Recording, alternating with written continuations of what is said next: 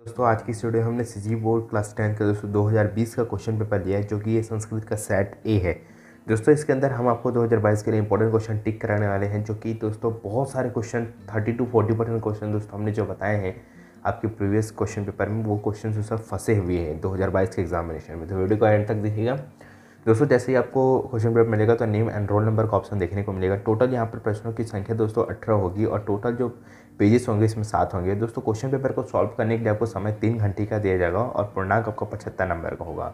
ये संस्कृत का सेट ए है सेट बी से जल्दी आ जाएगा हमारे इसी चैनल पर तो सबसे पहले यहाँ पर प्रश्न नंबर फ़र्स्ट देख पा रहे हैं, जिसके अंदर आपको टिक द करेक्ट आंसर है नेक्स्ट पेज फिर यहाँ पर देख पा रहे हैं दोस्तों पेज नंबर दो है, ठीक है, जैसे कि दोस्तों आप सबको पता होगा, हमने पिछले वीडियो में जो जो क्वेश्चन बताए थे दोस्तों, ऐसे ही वीडियो बना करके और उनमें से thirty to forty percent question दोस्तों फंसे हुए हैं। आप जा करके हमारे वीडियोज़ को देख करके एनालिसिस भी कर सकते हैं।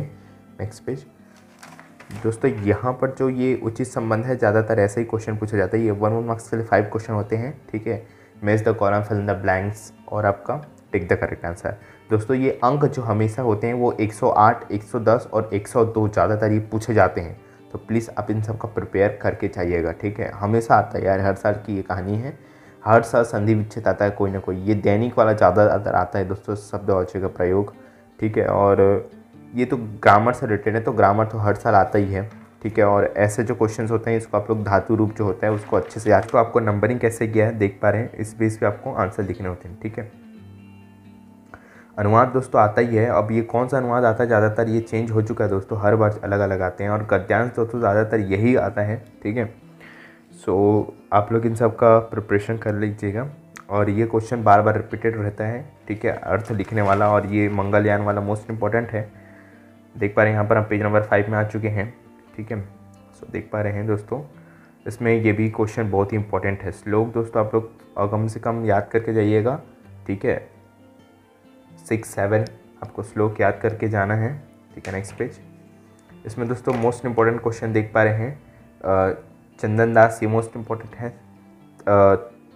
तंडु तंडुलस्य ये वो मोस्ट इंपॉर्टेंट है। और दीप कालीम काली मतलब ये जितने भी क्वेश्चन आंसर हैं मोस्ट सुक्ति तो हर साल आता है रिपीटेड रहता है तो आपको चार सुक्ति लिखना पड़ता है वन वन मार्क्स लिए होते हैं। फोर लाइन लिख दीजिए छोटा छोटा याद करके जाइए।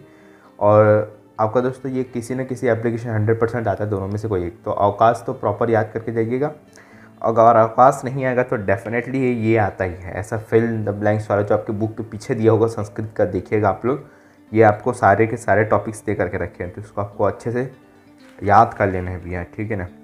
उसके बाद यहाँ पर देख पा रहे हैं दोस्तों, हम लोग पेज नंबर सेवन में आ चुके हैं, जहाँ पर पाठ्य पुस्तक से कोई दो श्लोक लिखना होगा। उसमें से दोस्तों आपको क्या करना पड़ेगा? चार श्लोक याद करके जाइएगा, क्योंकि दो श्लोक ऐसा होता है कि जो अनुवाद लिखने के आ जाता है और फंस जाए वही तो कोई भरोसा नहीं है। तो आप चार याद करके जाइए, ठीक है? मोस्ट इंपॉर्टेंट दोस्तों, महाकाव्य कालिदास। मोस्ट इंपॉर्टेंट है और सुभाष चंद्र। हर साल पूछा गया है और ममदीरम। मतलब ज़्यादातर इसमें इंपॉर्टेंट महाकाव्य है, ठीक है? महाकाव्य कालिदास। मोस्ट इंपॉर्टेंट है। रिपीटेड है ये, ठीक है? देख पा रहे हैं आप लोग। बस इसमें इतने क्वेश्चन है। चैनल पर चैनल को सब्सक्राइब कर लीजिए और इस वीडियो को लाइक करके शेयर करना। रिक्वेस्ट है आप लोग से कि शेयर ज़रूर किया करें वीडियोज़ को। सो मिलते हैं नेक्स्ट वीडियो में. टेक केयर धन्यवाद.